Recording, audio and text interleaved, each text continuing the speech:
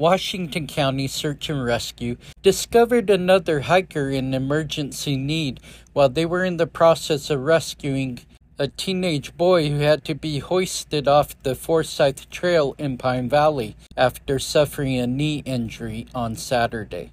Washington County Sheriff's Office Deputy Jacob Paul said this was a reminder that all recreational enthusiasts need to properly prepare for outdoor activities, especially making sure that there is sufficient water.